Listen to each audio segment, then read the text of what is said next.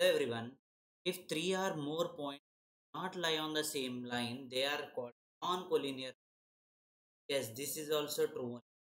Because see, I take three random points or four random points. So by joining all these, I can get a surface. I can get a plane surface. So the given points are not collinear.